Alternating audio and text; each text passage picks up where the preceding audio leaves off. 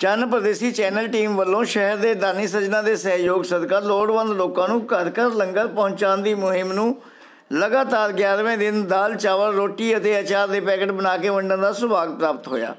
Channel ਦੇ ਮੁੱਖ ਸੰਪਾਦਕ ਚੰਦਰ ਨਾਗਪਾਲ ਨੇ ਅੱਜ ਦੇ ਲੰਗਰ ਲਈ ਆਟਾ ਰਿਫਾਈਨਡ ਦਾਲ, ਚਾਵਲ ਅਤੇ ਹੋਰ ਸਮੱਗਰੀ ਦੇਣ ਵਾਲੇ ਅਤੇ ਚੈਨਲ ਨੂੰ ਸਮੇਂ-ਸਮੇਂ ਸਹਿਯੋਗ ਦੇਣ ਲਈ ਸ- ਅਮਰਜੀਤ ਟੰਡਨ, ਹਰਵਿੰਦਰ ਸਿੰਘ ਰੋਣੀ, ਬਲਵਿੰਦਰ ਸਿੰਘ ਬੱਬੂ, ਪਹਿਲਵਾਨ ਕੁਲਦੀਪ ਸਿੰਘ, ਹੇਮੰਤਪੁਰੀ ਦਾ ਤਹਿ ਦਿਲ ਤੋਂ ਧੰਨਵਾਦ ਕਰਦੇ ਹਾਂ। ਆਉਣ ਵਾਲੇ ਸਮੇਂ ਵੀ ਇਸੇ ਤਰ੍ਹਾਂ ਮਾਨਵਤਾ ਦੀ ਸੇਵਾ ਵਿੱਚ ਆਪਣਾ ਬੰਦਾ ਯੋਗਦਾਨ ਪਾਉਣ ਦੀ ਆਸ ਜਤਾਈ। ਅੱਜ ਦੇ ਲੰਗਰ ਬਣਾਉਣ ਦੀ ਸੇਵਾ ਹਲਵਾਈ ਵੀਰਪਾਨ ਪੂਨਮ ਨਾਗਪਾਲ, ਸੀਮਾ ਰਾਣੀ, ਲਾਲੀ, ਮਹਿੰਦਰ ਕੁਮਾਰ, ਆਕਾਸ਼ਦੀਪ ਨਾਗਪਾਲ, ਸਮਾਜ ਸੇਵਕ ਅਤੇ ਮਹੱਲੇ ਦੀਆਂ ਹੋਰ ਸੰਗਤਾਂ ਦੁਆਰਾ ਬਹੁਤ ਹੀ ਸ਼ਾਨਦਾਰ ਤੇ ਪ੍ਰੇਮਪੂਰਵਕ ਕਰਵਾਈ ਗਈ। ਲੰਗਰ ਵੰਡਣ ਲਈ ਚੈਨਲ ਦੇ ਚੀਫ ਐਡੀਟਰ ਚੰਦਰ ਨਾਗਪਾਲ ਨੇ ਆਕਾਸ਼ ਸਮਾਜ ਸੇਵਕ ਹਰਮਨਦੀਪ ਸਿੰਘ, ਹਰਪ੍ਰੀਤ ਸਿੰਘ ਪਿੰਕੂ ਅਤੇ ਹੇਮੰਤਪੁਰੀ ਆਦਿ ਨੇ ਕੀਤੀ।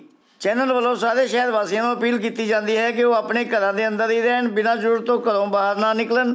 ਜਦੋਂ ਵੀ ਆਪ ਜੀ ਦੇ ਕੋਲ ਕੋਈ ਵੀ ਸੰਸਥਾ ਲੰਗਰ ਲੈ ਕੇ ਆਵੇ ਤਾਂ ਕਿਰਪਾ ਕਰਕੇ ਆਪਣੇ ਪਰਿਵਾਰ ਅਤੇ ਸੇਵਾਦਾਰਾਂ ਦੀ ਸਿਹਤ ਨੂੰ ਮੱਦੇਨਜ਼ਰ ਰੱਖਦੇ ਲੰਗਰ ਲੈਣ ਲਈ ਬੱਚਿਆਂ ਤੇ ਬਜ਼ੁਰਗਾਂ ਨੂੰ ਨਾ ਭੇਜੋ, ਬਲਕਿ ਜਵਾਨ ਭੈਣ ਭਰਾ ਆਪਣੇ ਮੂੰਹ ਚੰਗੀ ਤਰ੍ਹਾਂ ਕੱਪੜੇ ਨਾਲ ਢੱਕ ਕੇ ਥੋੜਾ ਫਾਸਲਾ ਰੱਖ ਕੇ ਹੀ ਲਾਈਨ ਵਿੱਚ ਲੰਗਰ ਲਓ।